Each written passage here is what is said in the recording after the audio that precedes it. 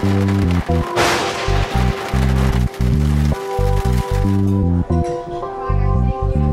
name is Madison Ferris. I'm playing Laura in The Glass Menagerie at the Belasco Theater. Do you like the space buns going on? I do. It reminds me of Baby Spice. Yes. Growing up, I always wanted to be ginger, not baby, despite my hair color.